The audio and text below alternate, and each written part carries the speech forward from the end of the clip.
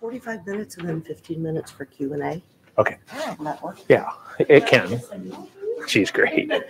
I didn't bring my, my hook, so I'm counting on you. Yeah, I got my glasses. I got everything. Hello, brave, intrepid, frigid travelers. We're so glad you uh, came out today. Welcome to the Iowa Files. Uh, this is the fifth year for this free educational program that we do in partnership with the West Des Moines Library. So we're so thrilled to have you here. Um, the Iowa Files is sponsored by donors and members to the West Des Moines Historical Society. Diana and Scott Hatfield, the West Des Moines Library, the Friends Foundation of the West Des Moines Library, and the Iowa Arts Council. So we have interesting and thank goodness last minute shoe shoe in uh, presenter that I think is going to be fabulous. If you're not up for Donner Party jokes, you might as well leave the room now. Um, Kent Halstead is in his 38th year of teaching, his 12th year teaching history to eighth graders in Indianola. His lessons are renowned because they're not just educational, but they're a lot of fun too. His students not just learn from a book, they're part of a creative process. They're up, they're out of their chairs, they're doing projects and uh, amazing things to stretch their minds, like turning the US Constitution into a comic book for the younger grades to use. He teaches students how to think about history and understand how the past has shaped our country to the present day, which is really one of the Historical Society's goals and missions as well. So we are absolutely thrilled to welcome educator Kent Halstead. Thank you.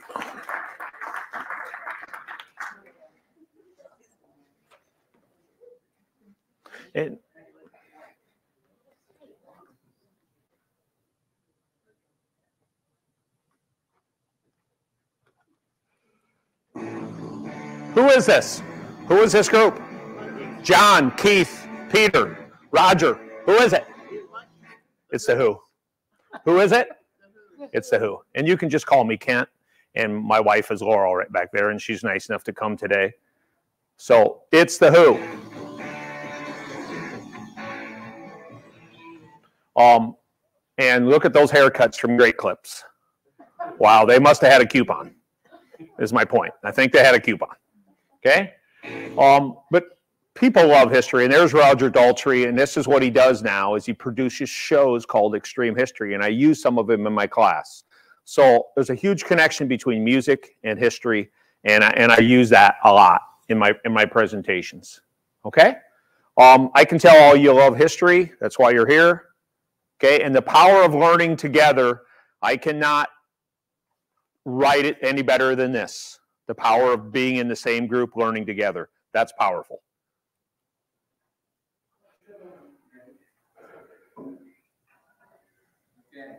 Read these books, and I'm Jacob. And I like this one the best because you got some stuff. and I like that.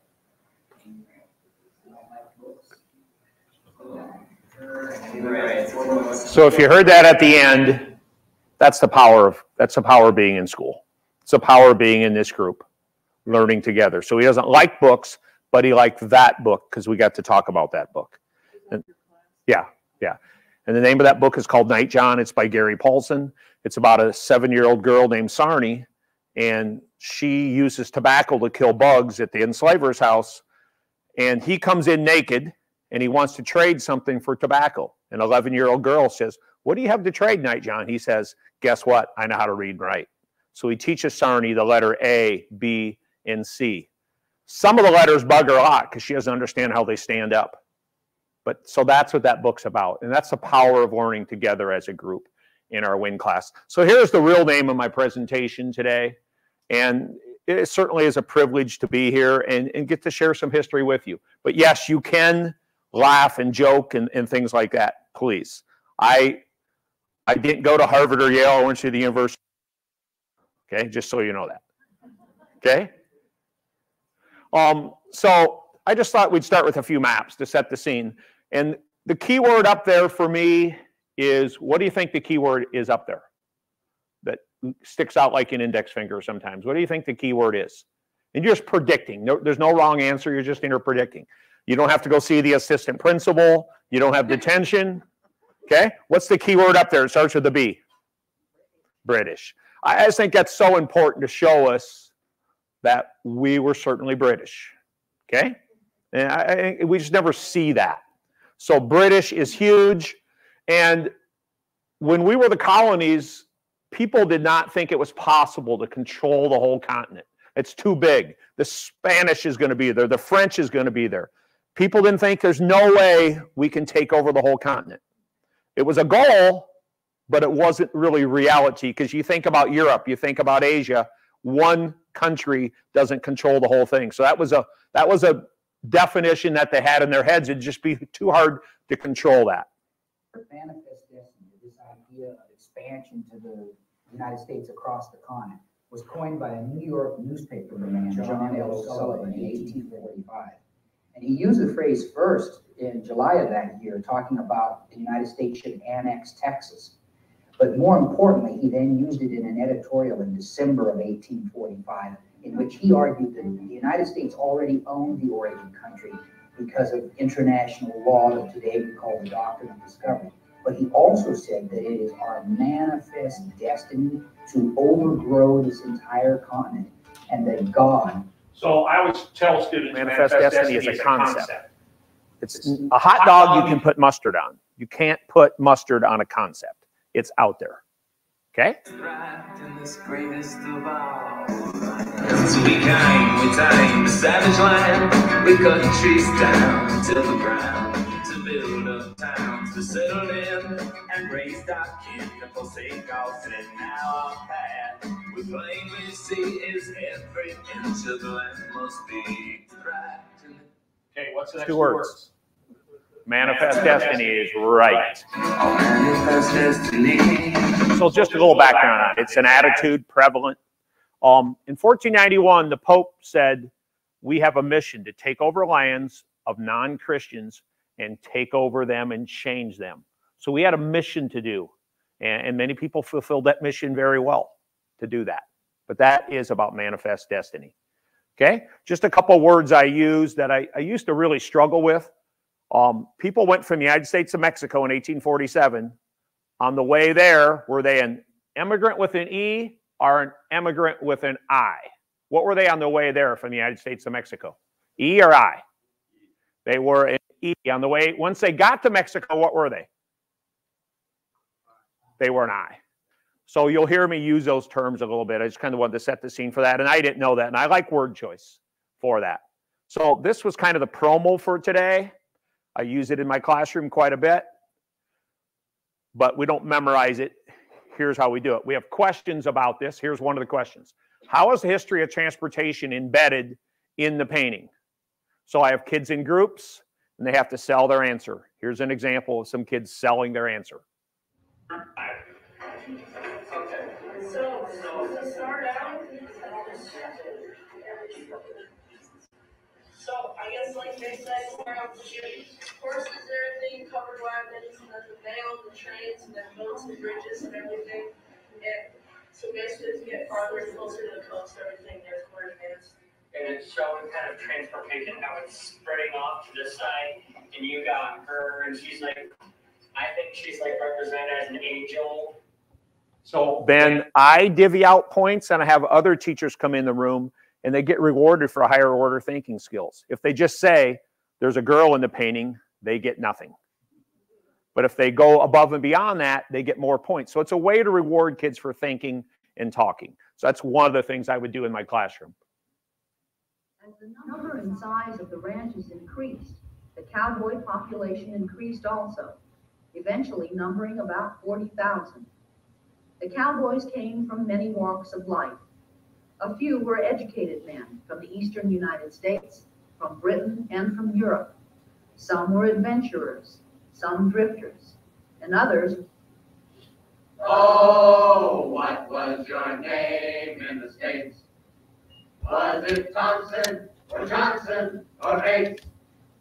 Did you murder your wife and run for your life? What was your name in the States? What was your name in the States? Was it Thompson, Johnson, or Bates? Did you murder your wife and run for your life? What was your name in the States? Why was it not polite to ask what your name in the States was? Just go ahead and predict. Otherwise, you will have Saturday school. If you don't predict. Suppose there were people running away from their past. Yes, exactly. That's they were running away from the law. Many people in the West, and the West has always had that connotation. And there's some of these people right there. They're on the run from the law. were on the run from the law. For this reason, it was not considered proper in the Western territories to ask a man about his background.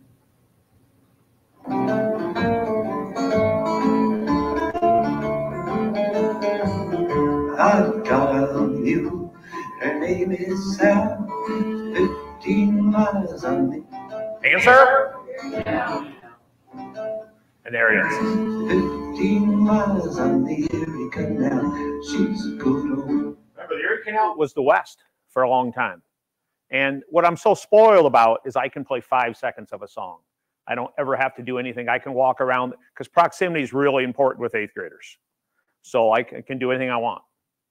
Okay, let me re- let me go back a little bit. Okay, what invention led to no more cowboys? What invention led to no more cowboys? No. Let's see.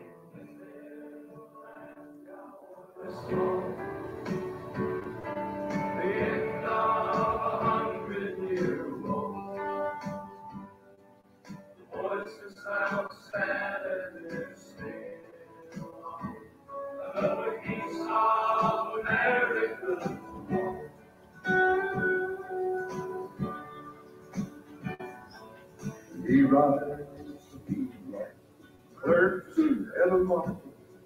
All weekend selling tobacco and beer.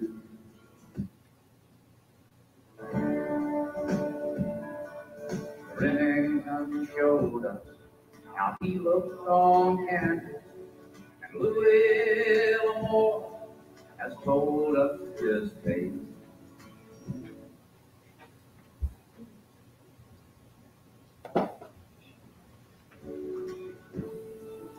This is the Trail covered in concrete now. In the market indigenous ways. They roll by as marker and don't even notice. Like living and dying. Nailed it. Barbed wire is right. So it's a way to teach about barbed wire, and I love the Highwayman. Who are they? Ash, Waylon Jennings, Kris Kristofferson, and and Willie Nelson. Yeah, Willie Nelson, Johnny Cash, Kris Kristofferson, and Waylon Jennings. And so it's a way I get to use music in my classroom. It's not the same kind of music all the kids get to listen to, but barbed wire changed the American West because now cowboys live in the market selling tobacco and beer. How many people have heard that song before? Has anybody heard it before? Did you know it was about barbed wire? See, that's the power of music in our teaching. So a lot of the pictures you're going to see are by this guy, Solomon D. Butcher, and, and he figured out people were making history in Nebraska, the West. I just wanted to give him credit for these pictures. Um, you can see his lifespan. So now you just get to shout. There's his. There he is. That's him. Okay. How did he take these pictures? Using glass plates is how he took them. He put a chemical on them, and that's where the word film comes from. And then he would carry these glass glass plates around. That's him. Okay. Okay. Yes or no? Is there a cow on the roof? Answer is no. It's just a book. Okay. Um, is there really a cow on the roof? No. Nebraska pioneer family in front of their sod house with the cow.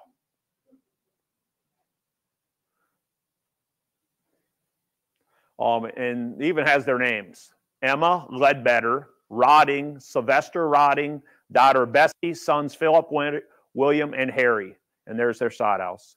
Um, how come they were so proud of this picture? Why do you think? So they got their picture taken how many times in their life? One, and they never saw it. Okay? They never saw it. So that's why pictures were always a big deal for people because they didn't have their whole life on their phone like like kids. Okay? Okay. Did settlers walk or ride on the Oregon Trail? What do you predict? Did they walk or did they ride in those wagons? What do you predict? Okay, and I love it when I can share the answer with a video. Hollywood Images is everybody gets in the wagon and rides. Uh-uh, nobody gets in the wagon and rides. Everybody walks. You walk just as fast as the oxen. So if you want to get a sense of how fast it goes, not running. Walk for a day. How far do you get? Eh, 10 miles, 12 miles, 15 miles, maybe. So nobody rode The the wagons, everybody walked. As most of you know, it was too hot, too dry, too dusty, and, and they were churning butter with the wagons. Okay? This year marks the 40th anniversary of the Oregon Trail, not the historic path of Western expansion, but perhaps the most popular educational computer game of all time. Ah, yes, fording the river, changing a broken wagon wheel, dying of dysentery. How many people played it before? Oregon Trail. So two Unemployed social studies teachers in 1976, they lived in Minneapolis and they got laid off. And so they made this game, but they couldn't sell it. How come they couldn't sell it for about 15 years? Do you know why they could not sell the game? Because nobody had their own personal computer. There was no way to sell it. So they had a good idea, but there was no market for it. You had to have a phone line and a modem to play it. So that's why it took a long time, but they eventually did make money from it.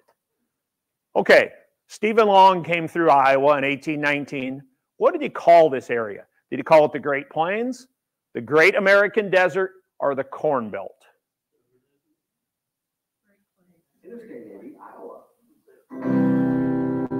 Mississippi River, Davenport. Corn, corn, corn, corn, corn, corn. What's that smell? Corn, corn, corn, I would say.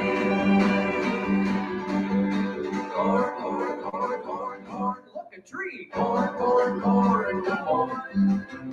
Corn, corn, corn, corn, corn. There's that smell again. Corn, corn, corn, comes the blood. Missouri River. Again, here's the answer. Missouri. It may be frontier, it may be rugged, but it's still recognizable America. It still is landscape that has been subdued by the American imagination in the 18th and the first half of the 19th century.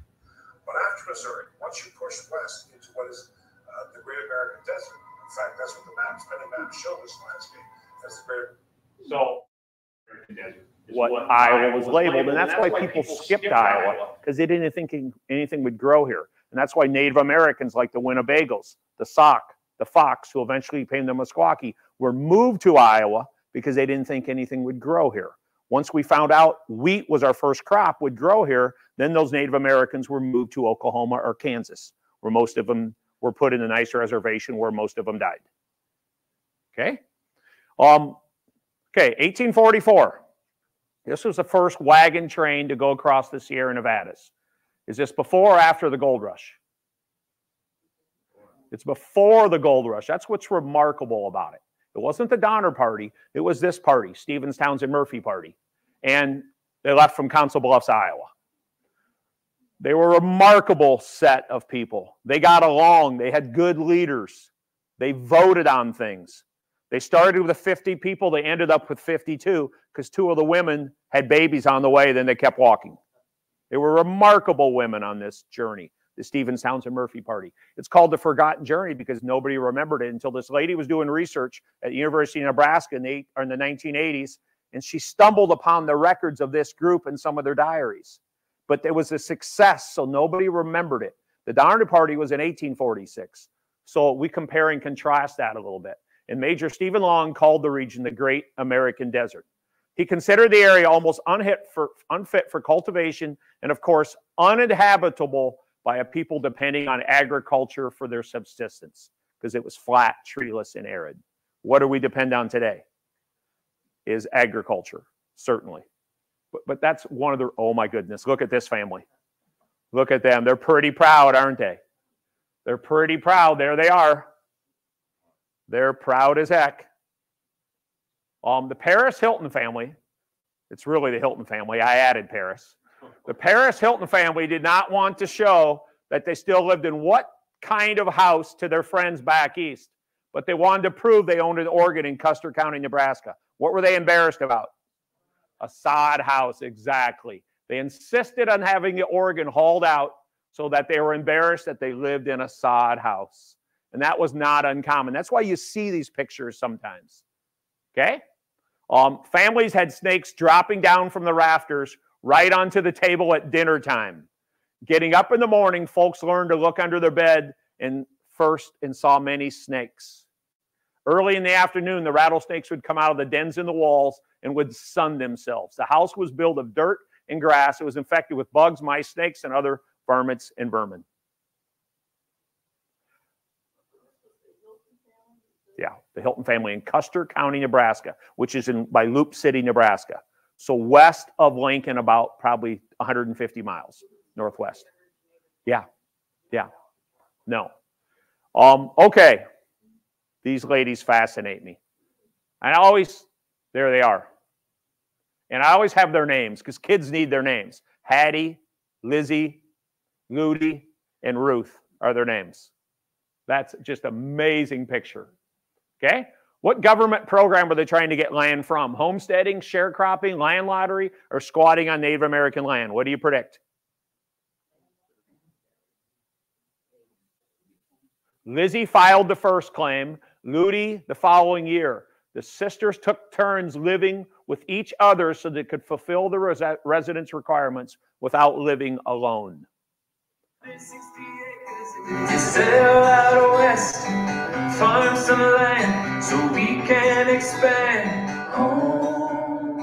so.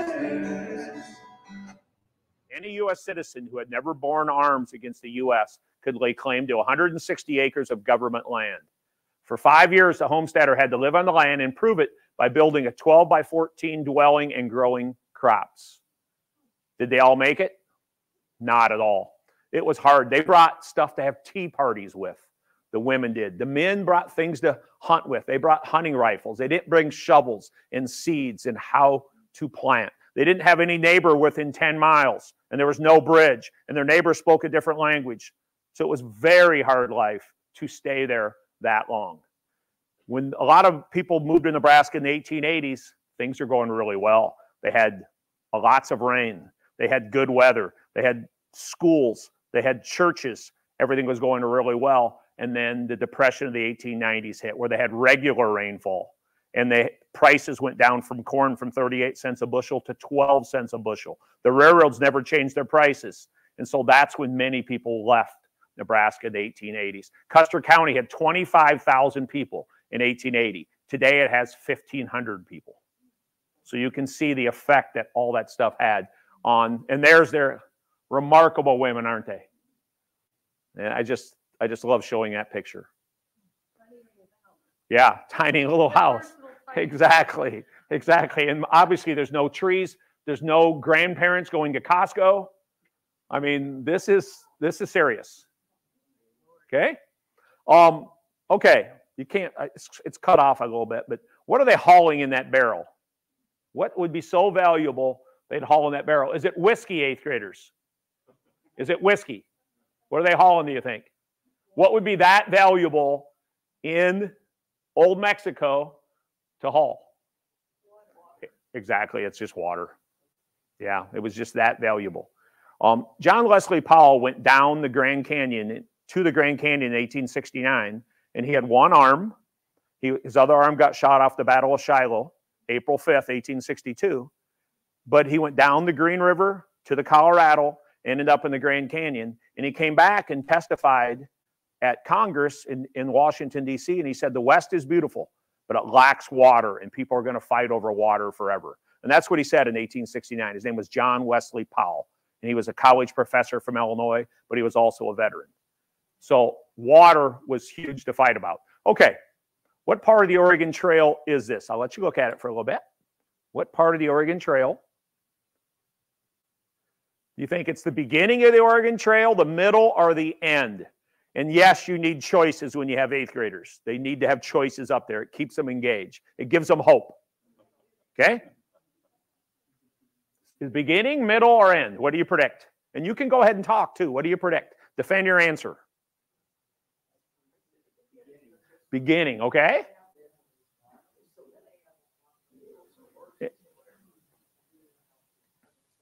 Okay. Okay, answer is the end. They would have never started the Oregon Trail with a cow and two donkeys. It just wouldn't have worked. It would have been so that is the end of the Oregon Trail. Okay? But you can see just having us predict history, there's no, it's not true false. There's no right or wrong answer. And that's how I love to teach because every person loves to learn. We just have to get them to throw away fear of failure and also they're just learning. They're not being graded, they're not being judged, they're just in here learning. And so that's kind of the way I, I love to teach my classes.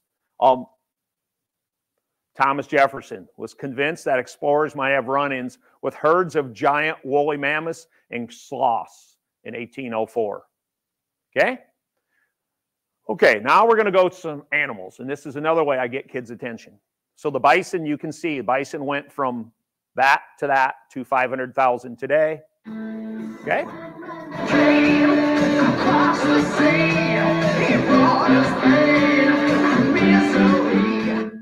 Okay. What was this family most likely to die on the Oregon Trail? Go ahead and predict. What do you think they died of the most? Cholera. Everyone has cholera. Continually watery diarrhea was cholera. You were okay in the morning. At noon, you started getting sick, and then you were dead by three o'clock. That's what happened with cholera. Okay? Yeah. Yeah. Okay. San Francisco Harbor, 1848. You need the year. Where's the people? Where's the crews? Are they on strike? Are they sleeping? They all quit to look for gold. Or are they below deck working? What do you predict? They all quit to look for gold big time. And they just left their ships there. Okay? Okay, what is this photo about using evidence? 1891, Pine Ridge Indian Reservation in southwestern South Dakota, right by Mission, South Dakota. Again, this is is this a cattle auction? Is it beef issued to Indians or a cattle roundup for the railroad? Answer is B. Long row of Lakota men on horseback preparing to rope cattle. A few on horseback are galloping toward the cattle. So, since they were wards of the United States, they got food from the United States, but they really they had to make their own food after we gave them cattle. Okay? Okay, what is this photo about using evidence? Is it a Native American village with teepees and permanent buildings? A United States sponsored school for all students or an Indian boarding school?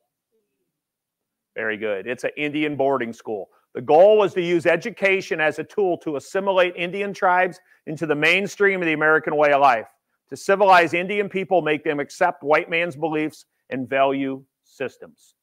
And if you know who Metukum Suck was, his real name is Jim Thorpe today. He was the most valuable athlete from 1900 to 1950. His relatives were Sauk and Fox Native Americans from Iowa. Remember, Native American tribes changed their name quite a bit because they had to go together. That's they became the Meskwaki because once they were persecuted, Native American tribes had to merge and go together. Dakota, Lakota, Sioux, the same thing. But Jim Jim Thorpe's relatives were from Iowa, present day Iowa, and he was moved to Oklahoma and he went to Haskell Indian School and eventually went to Carlisle Indian School in Pennsylvania and became the world's greatest athlete from 1900 to 1950. Okay? Oh my goodness. Do you dig the hole before or after you go to the bathroom? It's before. Okay? Um, how many people have seen this movie? Mr. Fredrickson. Up. Okay? It's yeah, there it is right there. But here's my question What the heck are they doing? They have telescopes to see the newly discovered planet of Mars in 1868. Are they cloud seeding to make it rain in the West in 1881? Are they setting up a 4th of July fireworks in Dodge City, Kansas in 1871? Look how fancy they are. Look at this. What are they doing, you think?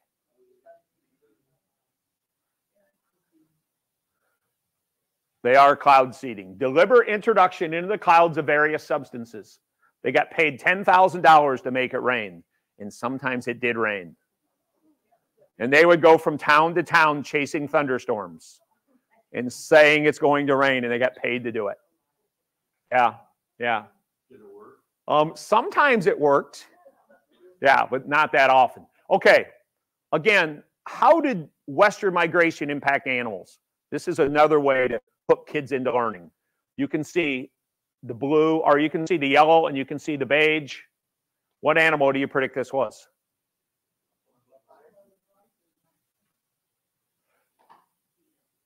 There's their current range to give you some more information. Only in Yellowstone, only in Glacier Bay National Park, in grizzly bears. Grizzly bear once roamed throughout the entire West. 98% of their original habitat is gone. Okay?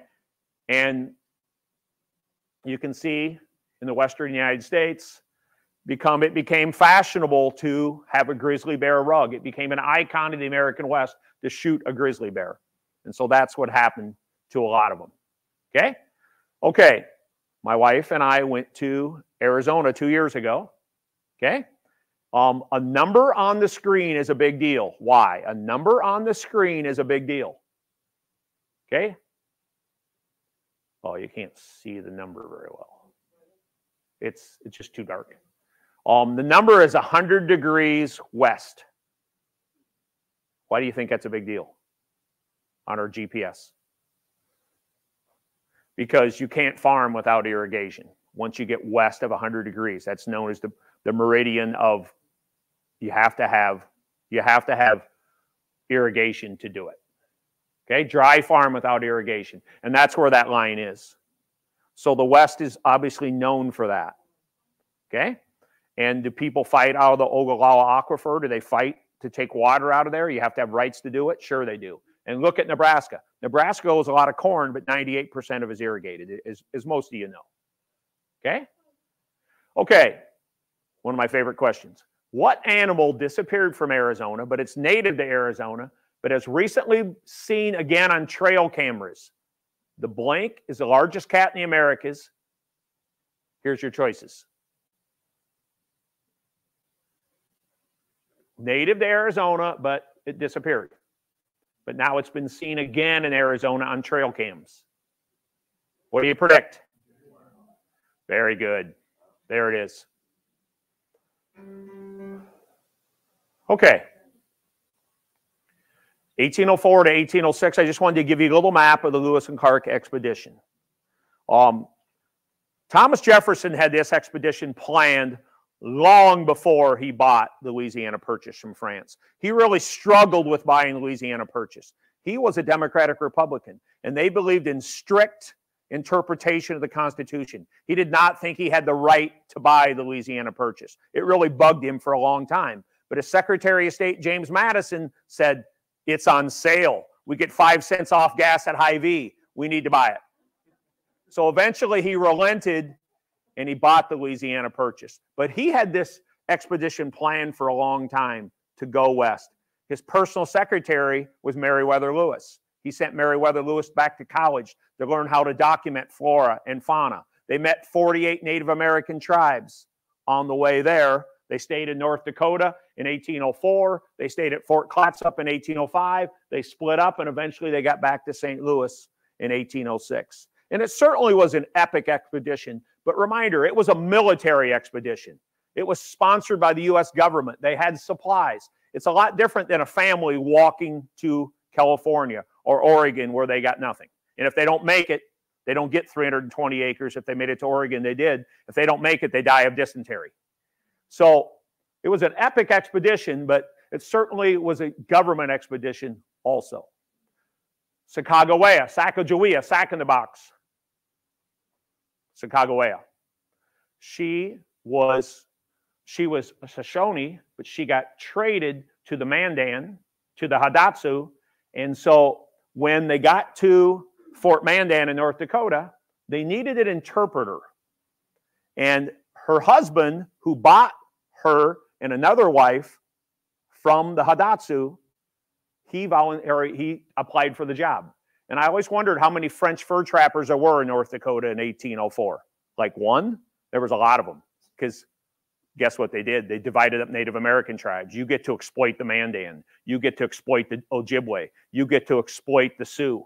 And so they divided up Native American tribes, kind of like a deck of cards. You get to exploit them. So there was actually a lot of French fur trappers in North Dakota in 1804. And eventually the Lewis and Clark expedition, as you know, makes it back. When they got to Fort Clatsop, they voted where to put it. They built it out of wood. The original's not there today, but there is a fort there today. It was made to do that. They also had a letter of credit from Thomas Jefferson. If you see a ship in the ocean, you can hitch a ride back and the United States government will pay for it. So that's a, they had a line of credit, like a Visa card from Thomas Jefferson. But let's go a little deeper. This is from their journal. The fog's so thick this morning, we could not see a man 50 steps off. The fog detained us until 10 o'clock, at which time we set out accompanied by our Indian friends who are who are from supposedly Mount Hood is 85 degrees east, about 47 miles distance from the mouth of the Quicksand River. The mountain is covered with snow. So when they were going east to west, guess what they saw? They saw Mount Hood, even though they'd never been there before. And they knew it was huge to see it. My next question is why? Why did they know about Mount Hood? There it is. Okay. A, they had a primitive map, or they had a primitive map of the route.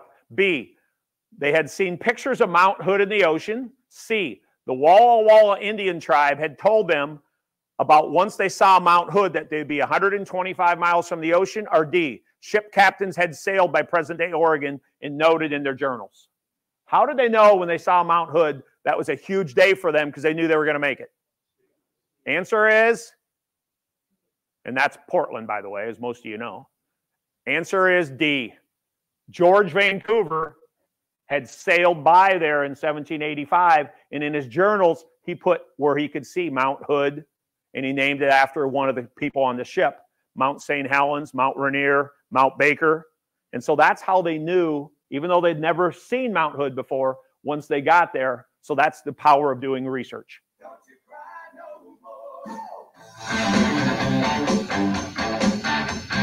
Okay, what year?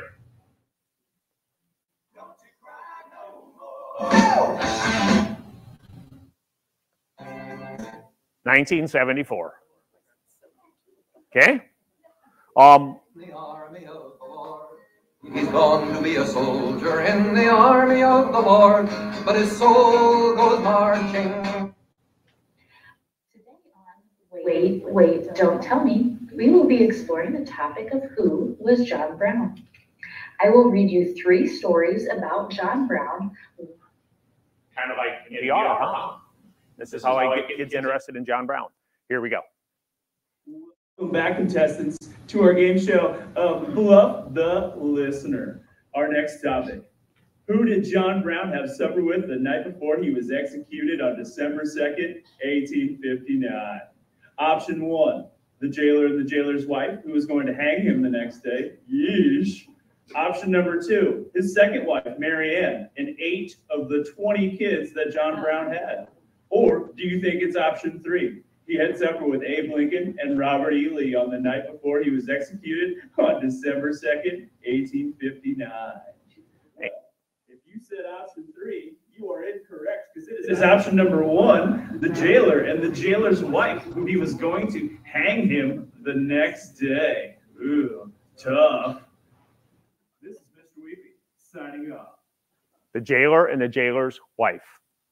Okay, and here we go. John Brown, executed September And 2nd, this is me talking. 1859. Where's he buried 100 years later, 1959? Where's his body?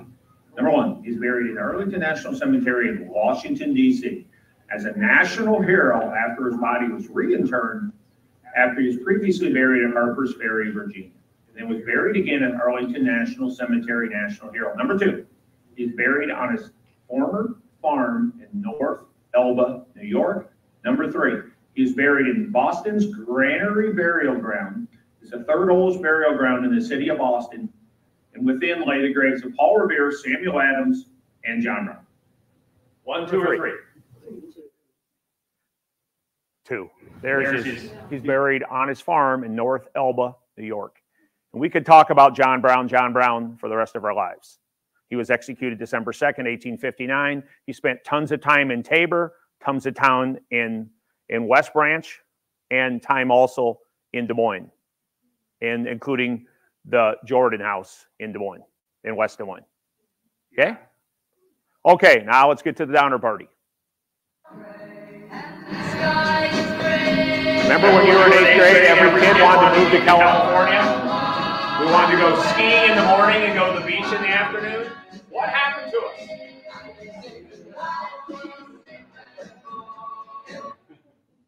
Go to California? At the start of the spring, this appeared in the Springfield, Illinois Gazette. That's where they left from. They left from Springfield, Illinois. Um, that's from last year. But on the bottom, they estimate the year they got stuck in the mountains, they had 93 feet of snow, 1,012 inches, because they sawed off the trees. And that's one of the ways they know. They think they had 93 feet of snow that winter at Donner Pass, and it's 7,085 feet. So it's not obviously that high either. Okay, here is the lake. It was it was not called Donner Lake then, but this is the lake they got stuck at. Okay, in the Donner Party tragedy, two thirds of the men in the party perished, while two thirds of the women and children lived. 41 individuals died and 46 survived. Okay, um, why did more men die than women? Why do you think? Why did more men die than women? But who are who are the women staying alive for? Their kids. Yep, the maternal instinct kicked in, and women kept themselves alive and their kids. Here's another reason. Men tasted better. Okay? It's another reason men tasted better. Okay. Um, Louis Keseberg was the only one of the Donner Party that bragged about eating human flesh after it was over. Um, in the, it wasn't like Pizza Ranch. They did not go back for seconds, eighth graders. It wasn't like that. They ate to stay alive. There was not much cannibalism. It was only at the lake. It wasn't on the other groups. It's been much um, sensationalized. But he did brag if you eat human flesh. Guess what he did later? He opened up a restaurant and he served mystery meat, and nobody knew what it was. Nobody knew what he was serving, but they liked it. They said it tasted like Salisbury steak, like when you were in school. Okay? Okay, the forlorn hope, and I love that word forlorn, was 15 members of the Donner Party that left the main party to hike down to Sierra Nevadas to get help. So their wagons couldn't get through, their minivans couldn't get through, but individual people could. So 15 people called Forlorn Hope went for help. Okay? Two daughters from Forlorn Hope were at Casey's buying lunch. They had a coupon for buy one clown, get one free. And I saw them there the other day. The one Forlorn Hoper said he did not like clowns because they taste. He did not like them. They taste funny. 1846. Did you know George Donner was let out of the jail on bail today? What was his bail? How did he get out? I heard it cost him an arm and a leg. Two Donner parties, two Donner partiers were eating the best meal they've had in ages. The one Donner party said, Your wife sure makes a good roast, commented the first Donner. Your wife sure makes a good roast. Yeah, replied the second. I'm really going to miss her. Remember, I teach eighth grade. Okay? James Reed. James Reed wanted to be the leader of the Donner Party, but he got banished and he actually got sent away, and he was one of the first people to come back and save them, going from west to east. He wanted to be the leader of the Donner Party, but James Reed was banished from the Donner Party instead for murder. What was his favorite game, James Reed? Swallow the leader, because he wanted to be the leader, but he didn't get to be. Okay? Louis Keseberg was the only Donner Party member who bragged of eating human flesh. So here is his restaurant. Louis Keseberg in 1848 opened up a restaurant in Truckee, California. overheard at his restaurant near Truckee in the Sierra Mountains. Donner, party of eight. Then there was a pause. Your table's ready. Excuse me, we now only have seven in our party. Appetizer.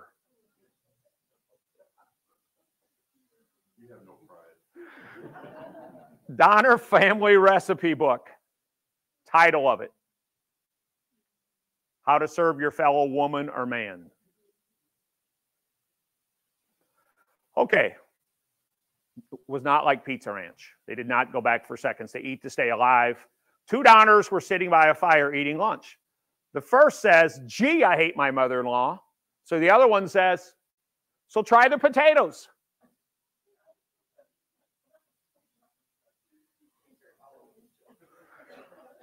Remember 80?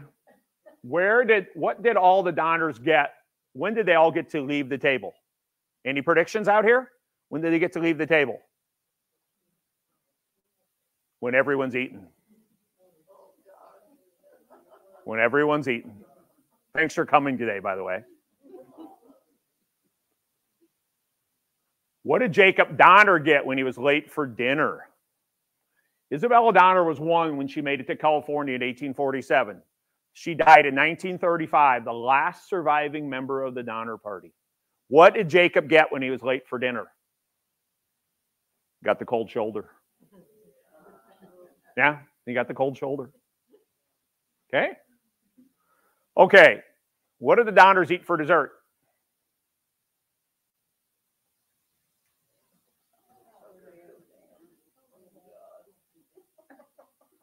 I don't want to end with that. I want to end with the 1970s. So we got a couple more minutes. I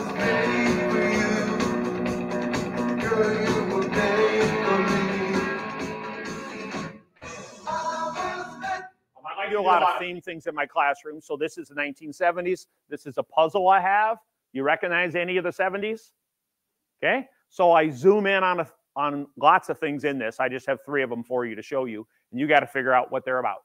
So as soon as I hit the, you can tell. Go ahead and talk.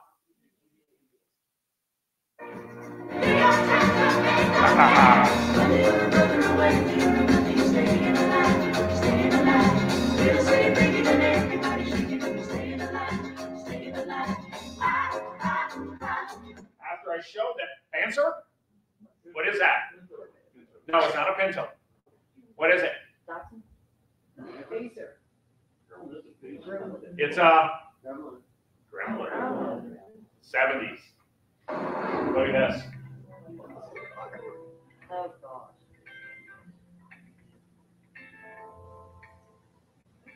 We first featured this purple 1972 AMC Gremlin X in our Muscle Car and Corvette National Show coverage. So, no, you're not seeing double. There are times when we feature cars from the brothers collection at events when we couldn't shoot them in motion. So when we had the chance to wheel this little 304 powered Xbox around a bit, we decided to have some fun with it. That scares kids, a gremlin as a car. Okay, go ahead and talk. Last one. Very good.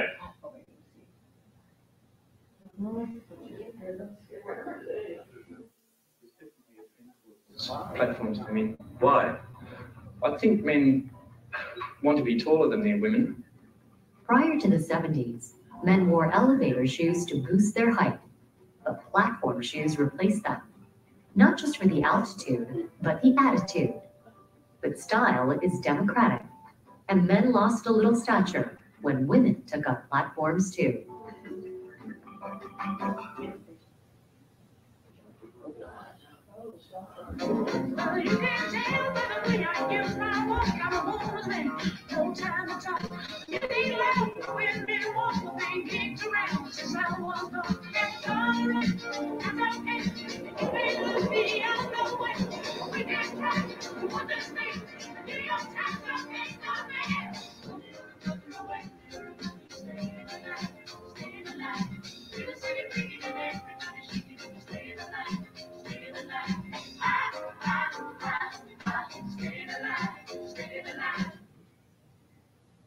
So that ends my presentation.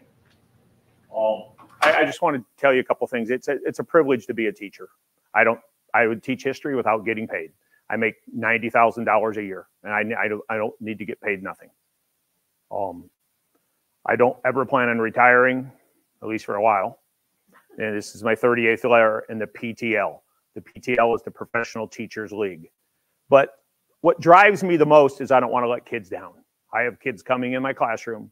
I don't want to let them down. They need an experience. They need conversations. We take no true false tests, no ABCD test. Those are boring to me. I can't even think about looking at those. We we talk to each other. A normal day in my classroom, kids are out of their seat and there's no desk, and they're around the room talking. And that's a normal day in my room, including tomorrow, would be an example. But it- it's just simply a privilege to be a teacher. Um, and so I just want to tell you, I don't need a parking spot at Hy-Vee. I just need kids coming in my room because that's when the magic happens. So, so thanks for listening to me today, and it's a privilege to get to hang out with you. So thank you very much. Now, how many of you remember Gremlins?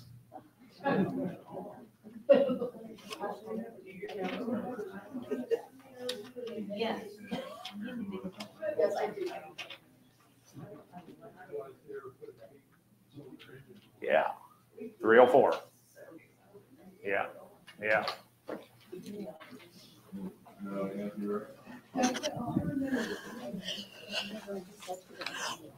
Well, I think that was the detainment, most definitely. Um, I can guarantee you, you will never hear that many Donner Party jokes in one setting. So we deserve an award or something. So next month is Black History Month. Um, the originally scheduled presentation, um, um, the uh, presenter just just canceled on me about 45 minutes ago. So by gosh, we're gonna, yeah, that's the third one in the last two weeks. I'm having a nervous breakdown. So we will be doing something on that date about uh, that would tie in with Black History Month. So please do come here. I'm just not sure who the presenter is going to be right now. So it'll be a surprise, but it'll be education, educational, it'll be awesome. So thank you again for coming and have a wonderful week. Yeah. I don't.